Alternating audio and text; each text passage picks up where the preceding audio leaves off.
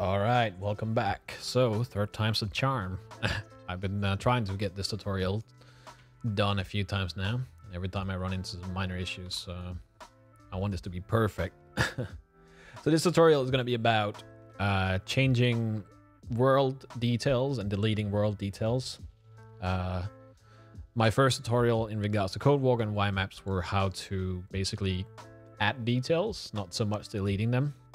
And there's a few rules that you basically have to stick by when it comes to deleting deleting stuff from the map. Um, there is certain objects you can delete and there's certain objects you cannot delete. And if you try to delete them, they will cause issues. Uh, basically, objects that have a child LOD linked to them, if you delete them, then suddenly it doesn't know where like where that object is and it's going to cause issues and it's going to look like all sorts of fucked up. So in this tutorial, I will be showing you how to get around that issue and hopefully you won't be running into that issue. Um, but there's always an off chance that you might and maybe this will help you out, hopefully. So we're just going to jump into it. So for this tutorial, I will be showing or modifying what we have, uh, what we call quick fix and NoPixel. Uh, this is the lost MC compound. And I will just be changing basically this area over here, removing some details and moving some details around and adding some new details. As per usual, make sure you have enabled DLC and set it to the latest DLC. In this case, that's MP Heist, just so you're sure that you're making changes to the latest version of any YMAP in the world. So we are gonna hit T, so we get our top left menu. Gonna click on New. And then we're gonna enable our selection tool and our movement tool. So we're gonna add these entities to our project. So I'm gonna right click on this, click add to project, and right click on these details and add to project. If we run into something that is not, you know, uh, that we didn't add, it will just automatically add it to the list anyways. So, um, first things first, you need to keep in mind that there is things in the world that use what's called, uh, or it, it, I don't know if that's what it's called, but that's what I call it. It uses a world collision file. And what a world collision file does is that it adds details. Basically, this entire compound is made from a world collision file. The, the model itself does not have an embedded collision. This collision is in a world collision file that you would have to modify. I will be going back to that and how that works in another tutorial, but in this case, we will be keeping this in mind and we will be working around. So the way you can check for that is you can go to um, your options and then you can click on show collision meshes. So when we click on this, you can see these things here have a collision. So you can see this is basically what the collisions look like. so we can click a few things and move them around. I know as a fact that this container, this one right here, has a world collision file. So when I select it and I move it, the collision does not move. So you can see it, stays in place if I select like this car and move it, you can see the collision disappears. So in this case, we're going to work around that. You, you, it's a bit of a trial and error kind of thing. So you need to kind of check if there is some leftover um, collisions when you're done working on your, your thing. But the way you can check that is options, general, and then show collision meshes. So I know as a fact that this one has a world collision, so I'm going to be leaving that in place. These things, on the other hand, do not. So, next thing you want to check is do these have a collision child, or not a collision child, sorry, a, um, a child LOD.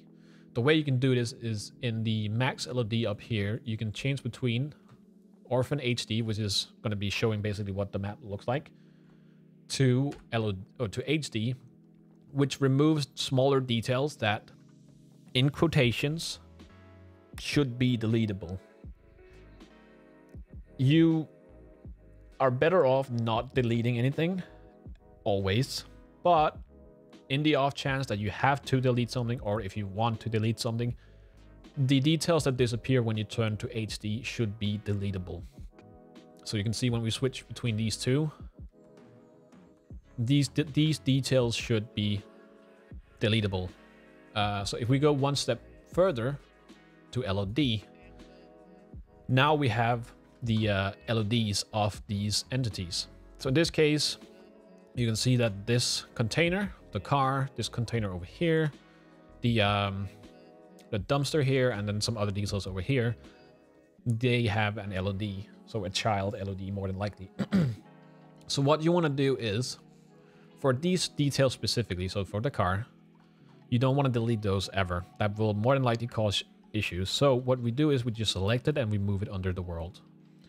So as long as the bounding box, so the, the, the square doesn't show up, you should be fine. So we're just moving it under the world, moving this under the world, and the same one for this over here. This one, in this case, is a bit weird because Rockstar added an LOD in the Y map. You can see when it's selected, it has the LOD. And I don't know why they did that, but the Rockstar. So now I'm selecting the, the actual container itself. You can see there's a leftover. This is an LOD that for some reason when this container ever moves, this this thing is there. So we're gonna just move this under the world and to do the same to this one. All right. So we're going to flip our max LOD to LOD and we're to do the same things to these details. So for the car, moving this under the world. For the container, moving this under the world. And for this dumpster here, you can see that the bounding box is bigger. So for some reason, this container is tied to these fences over here. So you can see when I move this around, the fences move as well. So just for the case of this, this is a small detail that probably won't be noticed, but we'll just leave that for now because we don't want this fence to be gone as well. So we can go to the next step, which is SLOD, and you can see these things kind of appear back. But that's because for this part, for these details, it's part of a bigger model, and you would have to modify this model and remove these details in the model for it to look correct. And that's a way more advanced, so I won't be going over that. But you can see when I move this, I'm moving a lot of smaller details. And this is only really going to be visible if you are in like a helicopter and you look at this area. So we're going to go back to our Orphan HD. And we're going to do what I suggest you never do. Uh, and we're going to delete these, these small details that we, if we flip between these two, you can see they disappear. So like I said, they should be deletable. So we're just gonna select these and we're gonna go ham on the delete button.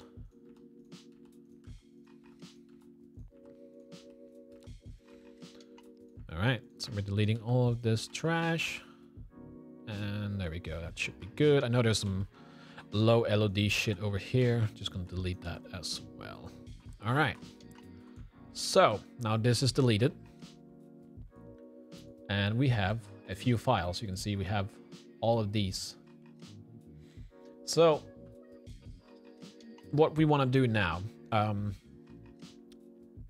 keep in mind, uh, you do not. So a rule that I've made for myself is when you want to add details, if you want to add new details, add them in a separate YMap. Don't update an existing YMap because a lot of times you have to create a new manifest. And if you create a new manifest for existing YMaps, there's a big chance that you might run into some issues. And these issues are basically the same as uh, deleting LODs and other shit like that. So just when you add details to something, create a new YMap just for adding details and leave the uh, leave the old YMaps as they are. So in this case, we're going to take these Y maps we have here. We're going to save them all. I'm going to save them in my YMap folder. We're just going to click save, save, save, save, and then save this project as YMap.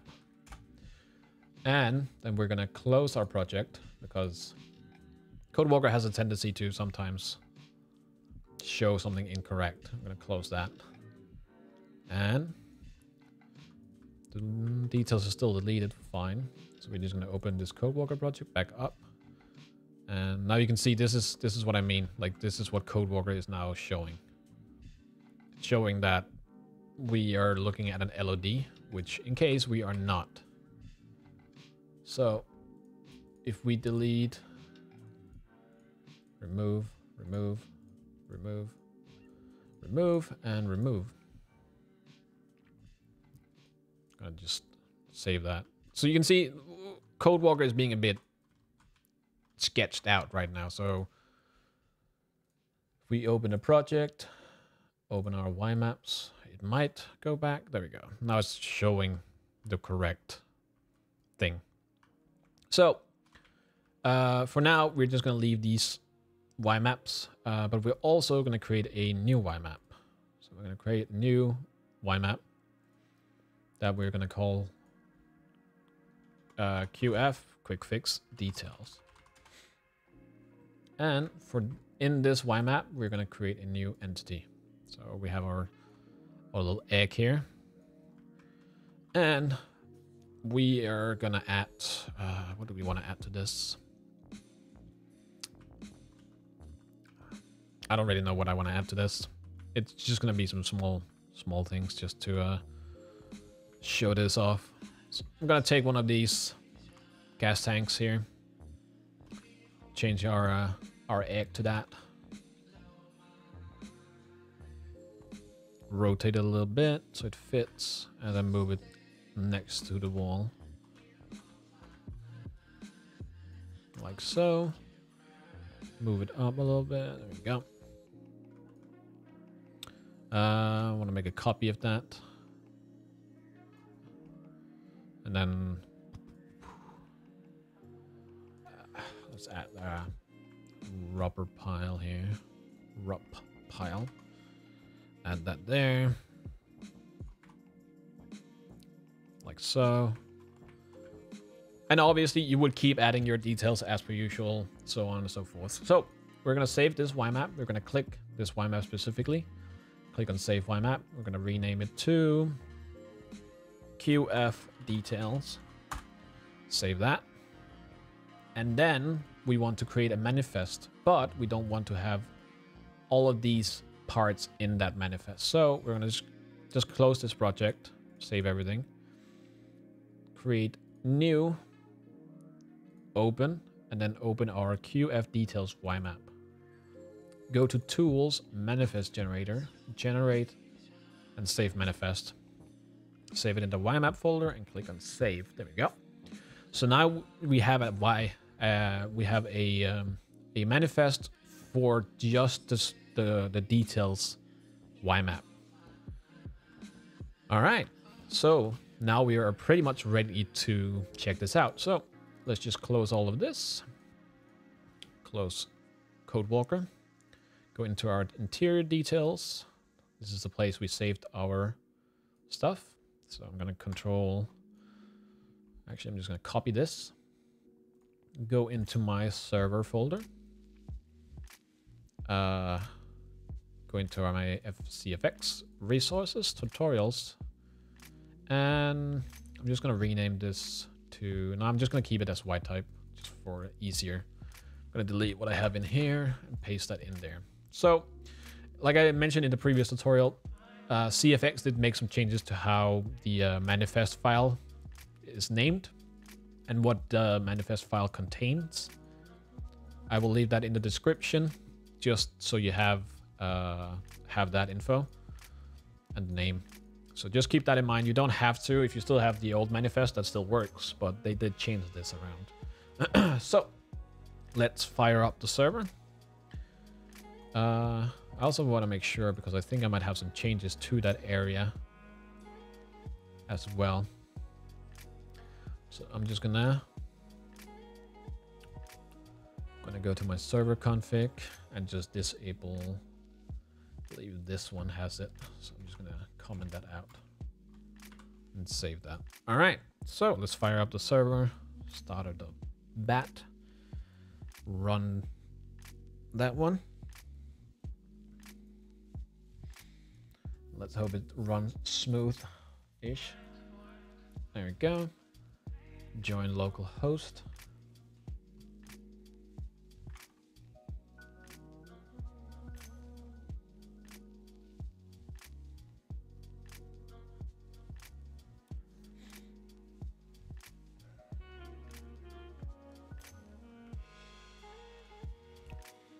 And when we're done loading in,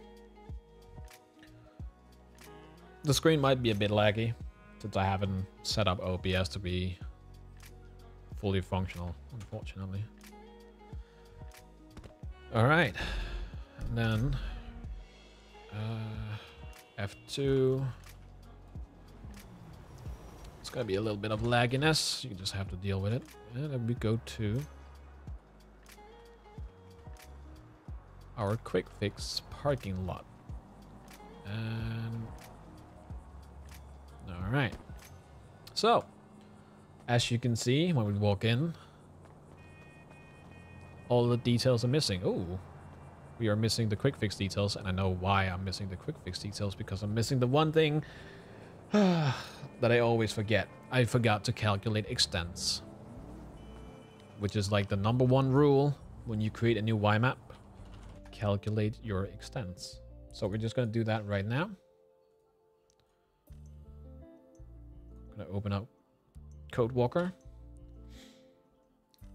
I don't know why I keep forgetting to calculate extents. It's literally the only thing you just have to remember to do or your shit won't show up. so quick fix details. Click on the YMap itself, calculate the flags and extents and just save it. That's really all you need to do. Then we close it back down, go to our resources, go to tutorials, Y type, streaming, and then we take our uh, our quick fix quick fix details and put that back in there.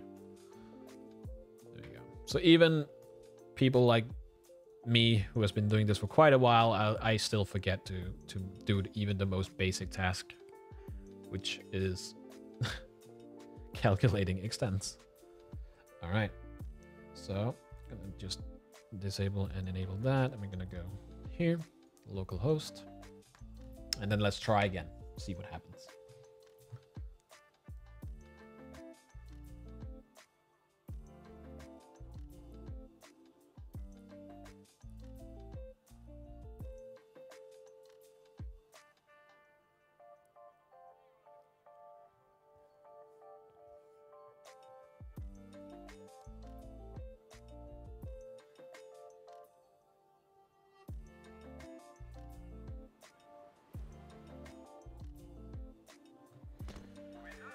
All right.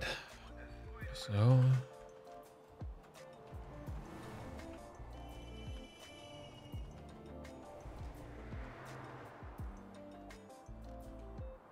Oh, that's a bit too far. I want to go over there. So as you can see for the LOD part, if we uh, if we zoom out here, move back a little bit, there is no LODs right now until we hit a certain point. Uh, think there you can see in the in the distance you can see where the car is supposed to be. But that's quite far so it's such a minor detail that it, it doesn't really matter. When we get closer those LODs disappear so that's good. So we're gonna just go down and you can see that the details are gone which they also were before and our quick fix details in the new Y map are here so in this case, this one has a building collision, and so does the, the tires. So that is basically it. So you can see when we run around this area, there's no collision, but that is not the case for this, and that's why we left it. So there we go. That is how you delete details, or you don't actually delete details. That's how you move move details underneath the ground. And uh, and don't have issues, basically. All right, well, I'll be wrapping that one up there, and I'll be seeing you in the next one.